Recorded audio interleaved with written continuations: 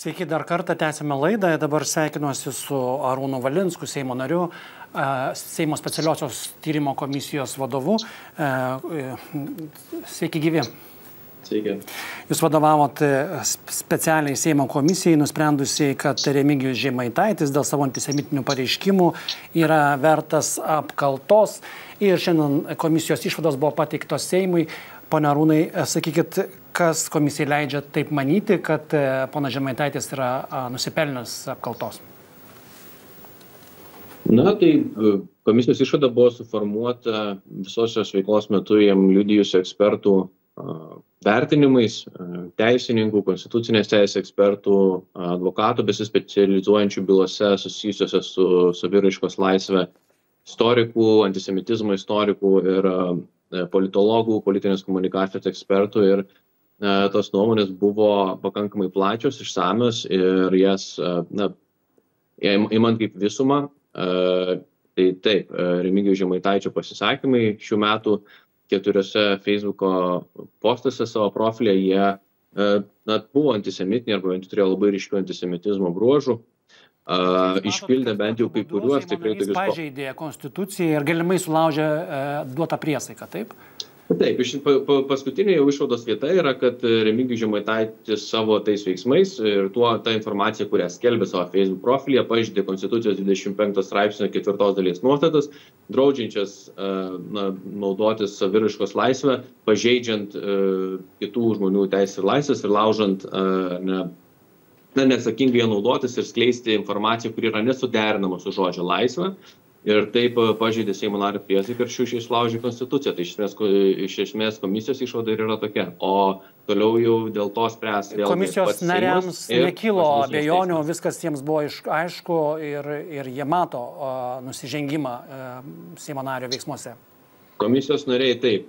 Mes turėjome jau atnaujintoje sudėtyje, sudėtyje, prie kurios prisijungė jau ir opozicija, mes turėjome devynis narius, balsuojant iš jų dalyvavo aštuoni ir komisijos išvadai buvo pritarta bendru sutarimu.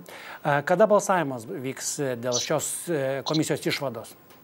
Čia yra artimiausi Seimo posėdžiai, tai greičiausiai svarstymas komisijos išvados bus šį ketvirtadienį ir tuomet, na jau atitinkamai greičiausiai manimų būdu bus ir šios komisijos išvados prieimimas. Kas toliau, kada apskritai šis procesas galėtų finišuoti?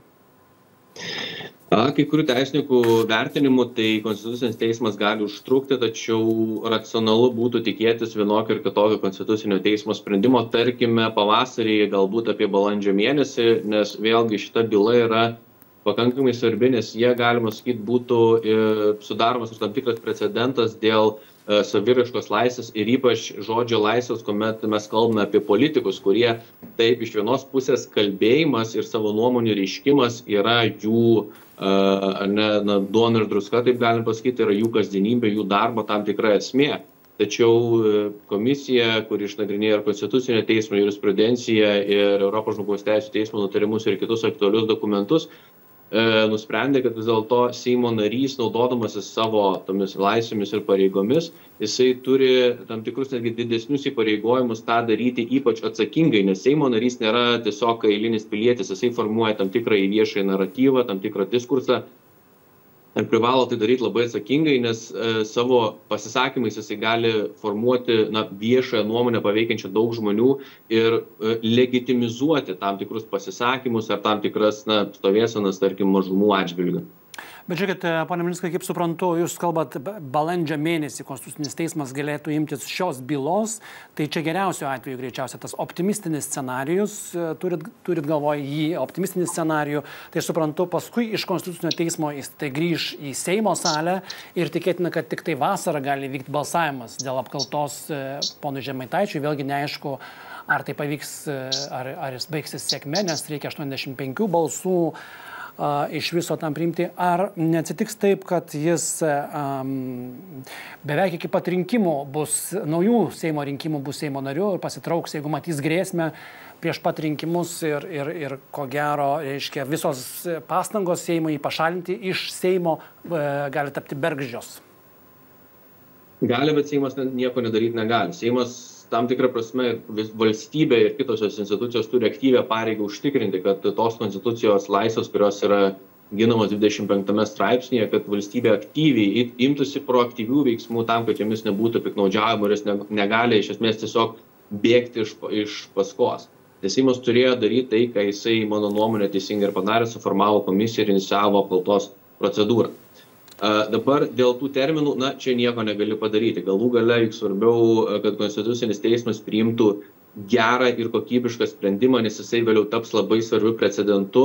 Ir na tikrai galima suprast kad remigijus žemaitaitis nebus paskutinis ar vienintelis seimo narys kuris na gali bandyti taip pasisakydamas generuoti sau populiarumą ar siekti galimai visuomenėj sudaryti tam tikrus pleištus ir išnaudoti juos asmeniniams tikslams. Tai mano nuomone taip žinoma būtų geriausia jeigu tie procesai būtų greitesni bet jie yra tokie kokie yra. Ir šiuo atveju svarbiausia kad tas procesas būtų iki galo kokybiškas ir aiškus. Ar remigijus žemaitaitis jausdamas galbūt kad jam gresia apkalta jau galutinai ir mandato atėmimas pasitrauks iš seimo taip tai yra vienas iš variantų. Gaila kad na tokios galimybės e, seimo nariam yra sudarytos paskui vėl iš karto eiti rinkimus ir būti išrinktam bet jos tokios yra ir kol kas mes jų pakeist tiesiog negalime. Mes iš esmės negalime priversti seimo nario na laikytis to mandato nepaisant jokių aplinkybių deja bet kai kurie, kai kurių Seimo narių nevaržo ir nesustabdo jokie teismų išaiškinimai ir jie, ir jie kalba blėnius, kaip sako Remigijus Žemaitaitis arba vėjus, nepaisant to, kokie yra teismų sprendimai ir panašiai.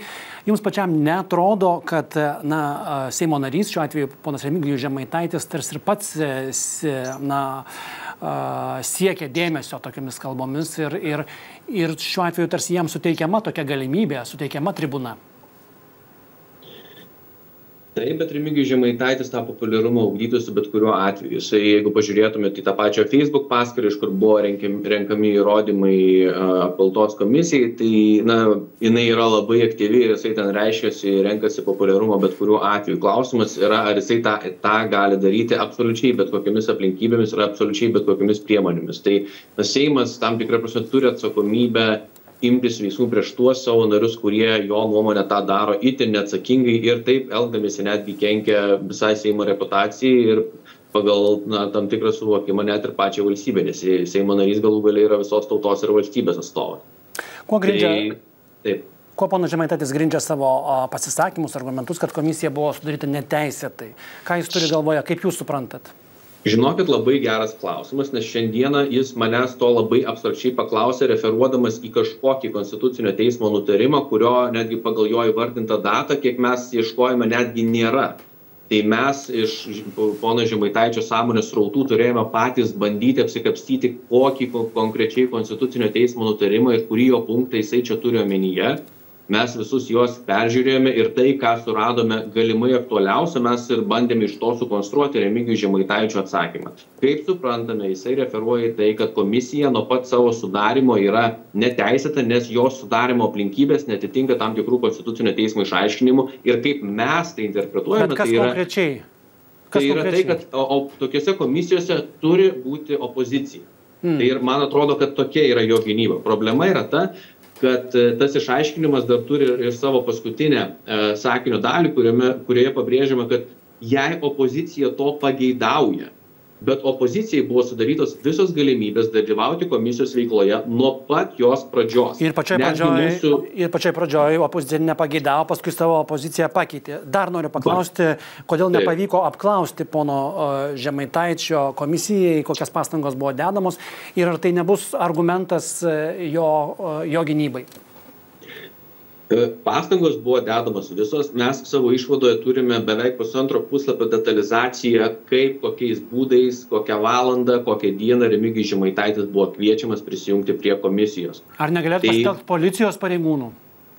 Ne negalime nes mes nesame teismas mes atvesdinti žmogaus negalime. Bet yra į komisijos išvadą įtraukti ir išaiškinimai jog dalyva seimo nario dalyvavimas tokiose institucijose ir jų veikla yra jo prievolė ir taip pat yra kiti išaiškinimai kuriuo nurodo kad jeigu seimo narys buvo tinkamai informuotas apie komisijos veiklą apie jam suformuotus kaltinimus jis buvo tinkamai kviečiamas į jos posėdžius kitais žodžiais tariant jam buvo sudarytos visos normalios galimybės dalyvauti bet jisai netgi jas turėdamas sąmoningai to nedaro tai negali būti kliūtis komisijai tęsti savo veiklą ir priimti išvadą tai yra seimo nario pasirinkimas nes priešin priešingu atveju supraskime kad tokios apkaltos komisijos taptų bevertės tiesiog ap e, tam žmogui kuriam yra skelbiama apkalta atsisakant dalyvauti ir ateiti tuos posėdžius tai tada visą procesą būtų galima tiesiog sugriauti tiesiog jame nepasirodo. Supratau, dar trumpai ir kaip teisininkas paaiškinkit situacijas. Dabar Seimas taip pat svarsto galimybę naikinti teisinę neliečiamybę Petrui Gražuliu už pasisakymus įžeidžiančius LGBT bendruomenę. Remigijų Žemaitaitis apšmeižė, įžeidė žydų bendruomenę. Tarsi situacijos yra labai panašios, bet procedūros taikomos skirtingos. Vienu atveju apkalta, kitu atveju teisinės nelidžimybės panaikinimas ir byla prokuratūroje. Kaip tą paaiškinti? Um, geras klausimas. Čia turbūt tiesiog būtų galbūt tam tikro pirmumo uh, dalykas, nes prokuratūra dėl Remigijų Žemaitaičio pasisakymų taip pat uh, šiuo metu atlieka tyrimą, tačiau nėra priemusi, kaip suprantame, sprendimo ateiti ir prašyti panaikinti Seimo nariui uh, neliečiamybę. Tai, na, čia galbūt to dar ir sulauksime, tačiau šiuo atveju tiesiog Seimas buvo pirmesnis už prokuratūrą ir todėl mes turime apkaltos procedūrą, kuri yra šiek tiek kitokia negu tiesiog neliečiamybės panaikinimas Petrui Gražuliui. Supratau, ačiū Jums labai. Tai buvo Arūnas Valinskas ir šiandien dėkoju uždėmesi, ačiū, kad žiūrėjote. Iki kitų kartų.